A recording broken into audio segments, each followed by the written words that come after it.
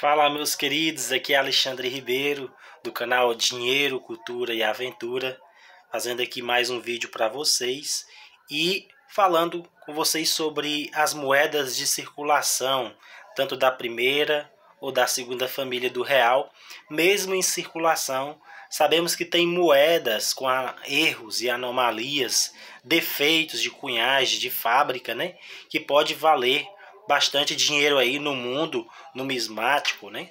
No mundo da numismática e colecionadores, amantes aí que querem ter essas peças para completar os seus álbuns, para ter essas peças para futuramente, né, agregar um valor a mais aí a, a sua seu acervo, a sua coleção. E recentemente eu recebi um vídeo aí de um amigo de uma peça de 25 centavos Vamos dar uma olhadinha nesse vídeo. Depois nós vamos falar mais ou menos quanto vale essa peça, né?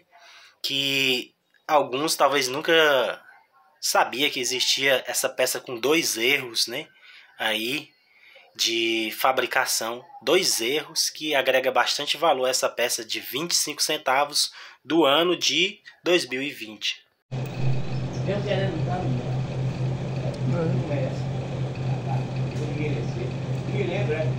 antigamente,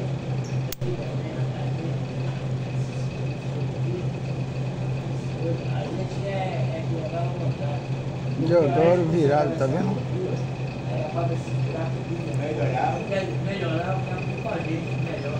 Se chovesse, não tinha nada. Hoje em dia não. Tapa hoje, abre. Aquele dia é uma chuva. Sim. No lugar tudo. Virado, é, horizontal, né? Vertical. Será como é que chama?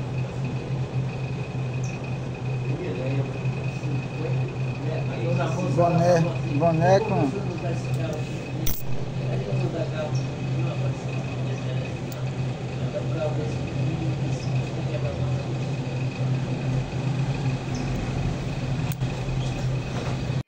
Então, amigos, vocês viram aí o vídeo, né?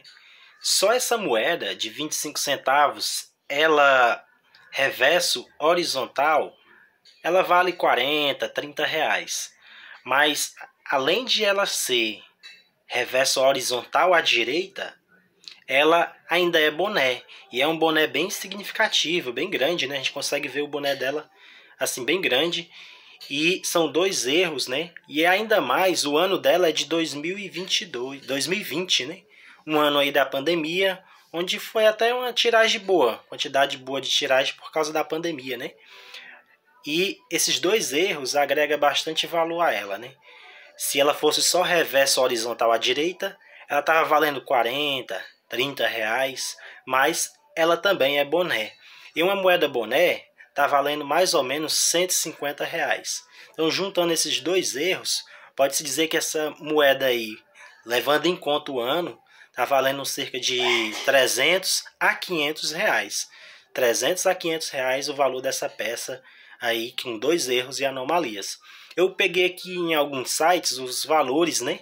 Os valores dela horizontal, os valores dela boné. Eu vou postar aqui para vocês verem.